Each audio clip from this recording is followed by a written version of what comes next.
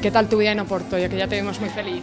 Bueno, pues que sigue todo igual, es eh, mejor si cabe, ¿no? porque ya es el tercer año, ya es, eh, es una frase hecha, ves como si estuviéramos en casa, muy cómodos, muy tranquilos, muy contentos con, pues, con todo, con las cosas que más nos preocupan, ¿no? a, la, a, las mamás, los colegios y demás. Cada vez más metido en el portugués, porque de hecho la colección se llama Saudade, ¿qué tal lo hablas?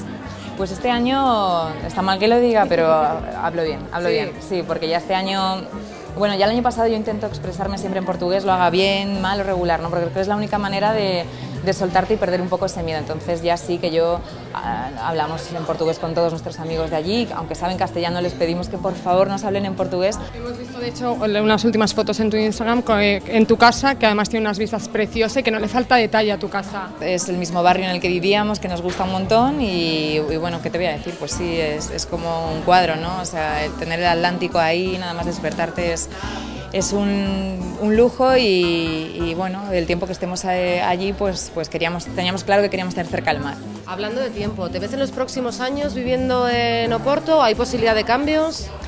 Bueno, eso como no depende de, de, mí, pues no lo sé a ciencia cierta. Sí que es verdad que este es el último año de contrato que en este caso tiene Iker con el club y después tenemos que ir viendo. Esto nunca lo sabemos ya, sino que lo vamos sabiendo sobre la marcha. Te estoy viendo que estás guapísima, delgadísima. No sé si viste otro día los comentarios de un posible nuevo embarazo con ese vestido amarillo que llevabas. Yo, por lo que te estoy viendo, descartamos embarazo, ¿no? Bueno, yo te digo que hay fotos muy traicioneras, que vaya tela, porque yo cuando, cuando la vi digo, pero si yo, yo no tengo esa barriga, no sé. Supongo que es la típica mala foto y en este caso pues no, no, no, no estoy. El baby boom en el mundo del fútbol, no sé si has tenido oportunidad de felicitar a Cristiano y a Georgina por Alana Martina que acaba de nacer.